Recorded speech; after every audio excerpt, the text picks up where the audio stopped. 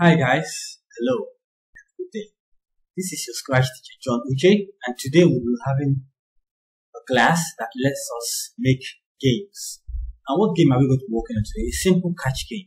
A catch game is a game that involves having to place, having a sprite, maybe a sprite in the form of a cup or whatever, going back and forth while other sprites fall from the top of the screen.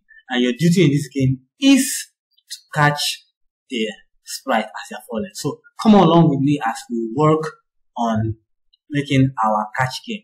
The first thing we have to do once we open our Scratch uh, program, we have an interface. We get rid of this sprites and we choose a backdrop first. Since our the game will be like the backdrop I like to use is outdoor because our game is going to be more like a frog catching insects. So so let's set it back outdoors and we can go to a water area. Yes, we have our water, our water area out backdrop out here. And we can choose our sprites. We'll be using the frog, so we go to animals, animals. We click the frog. Since its number is um, listed alphabetically, we go to frog. We can drag it this way. So we have our frog exactly where we want it to be, and we have our backdrop. The first thing we'll have to work on is on the frog. We would like to make our frog able to go left and go right with the use of our left and right arrow keys. The first thing you do is to go to change X by 10 from the motion, you drag it in here. And you go to, you go to your controls, get the if, and then block you go to, and you can go to sensing, get uh, the key, space, bar, pressed block, change the key space bar pressed to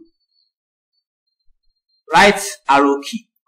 You lock it into the then, into the if, lock it into the if, and you take the change x by 10, you lock it into the then, just like this. We add, go to events, and flag is clicked.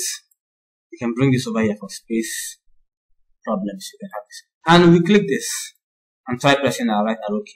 But as you can see, nothing is working. And why is that? Because we've not given the coding command, the command that it should repeat this on and on and on. And doing this on and on requires the use of a loop. And in Scratch, whenever you work on want to work on the loop, you have to use the forever.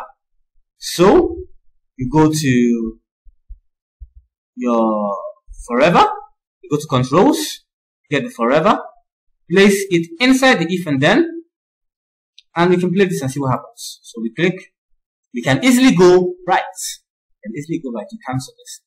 Now we want to make the sprite to go to the left.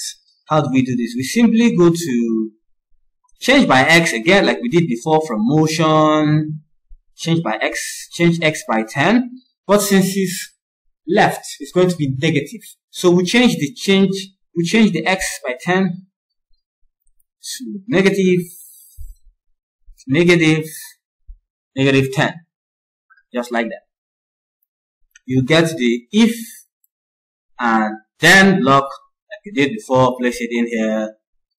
Go to your sensing like we did before, take the key space bar, lock it into the if, edit the space bar to left arrow key, take the X, place it inside the then, your new command, we put it into the forever, and we play right, left, right, left. So kids, as you can see, we've created the first basics of the catch game by making the frog sprite move left and right. Join us in our next class where we create sprites falling that the frog can catch. Thank you and have fun.